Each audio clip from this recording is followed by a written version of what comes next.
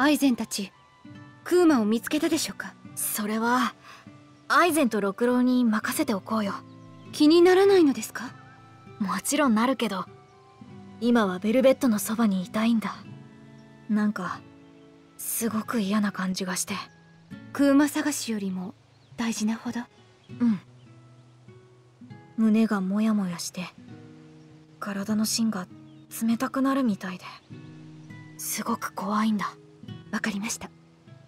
あなたの感覚を信じます。クーマのことは六郎たちに任せて私たちはベルベットと一緒にいましょう。ありがとうエレノア。